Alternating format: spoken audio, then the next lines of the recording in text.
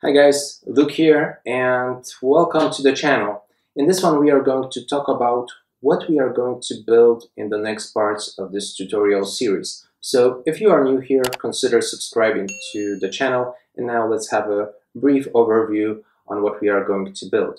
So many of you asked me if I could do some kind of a course on Celery, Redis, Django channels, and also Django REST framework. And Django REST framework is definitely going to happen together with React.js probably at the end of September. But now let's talk about what we are going to build in this tutorial series. And this is going to be a real-time application for cryptocurrencies where certain informations, like for example prices, will be updated in real time without having the page to be reloaded. And I think the biggest benefit of this tutorial series is going to be its simplicity.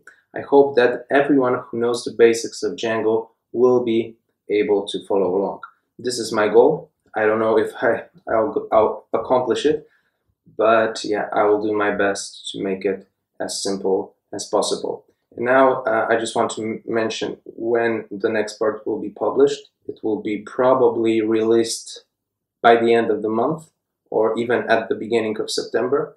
And the reason for this is that I would love to finish first Django with artificial intelligence and almost finish Django social network project, okay? Hope to see you uh, in part two.